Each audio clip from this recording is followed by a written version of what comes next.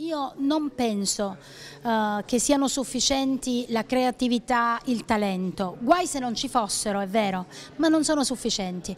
Occorre organizzazione, occorre rete, occorre squadra e il nostro territorio sta sperimentando questa cosa. Allora gli amministratori, i politici devono dare l'esempio.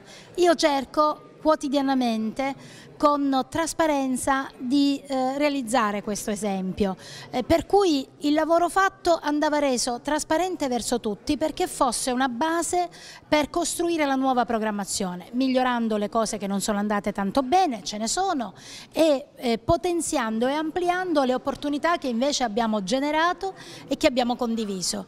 Uh, diario di bordo è questo, è uno sguardo alle politiche fatte con i loro risultati, ma è soprattutto la costruzione di un percorso per il futuro, un percorso che adesso deve essere scritto insieme agli imprenditori di questo territorio, ai lavoratori, ai giovani, agli innovatori perché eh, la Puglia, eh, come è stato giustamente detto questa sera, ha un suo dinamismo, una sua peculiarità eh, che non deve, fare, non deve invidiare nessuno, però ognuno deve credere nelle cose che fa e si deve impegnare e lo deve fare scientificamente.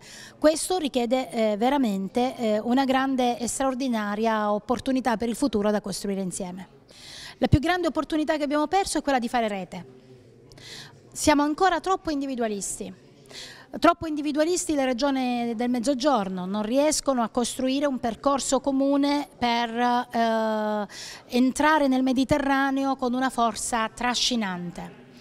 Eh, questo riguarda anche le imprese, hanno difficoltà enormi ad unirsi e io sono convinta che non sia la dimensione eh, come dire, a dover crescere perché ci sono imprese piccole che devono rimanere piccole. Il punto vero è che però se si aggregano eh, allora riescono ad affrontare meglio il mercato. Quindi questa è sicuramente un'opportunità persa che dobbiamo migliorare invece per il futuro.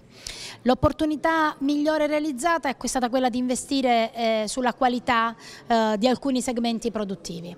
Aerospazio, meccanica meccanica, meccatronica, nanotecnologie hanno rappresentato uno strumento di successo eh, e l'investimento sul brand Puglia per altro verso ha generato un'attenzione internazionale che si è collegata con la buona qualità. Ora però anche qui c'è un segmento che dobbiamo percorrere, che è quello dell'organizzazione.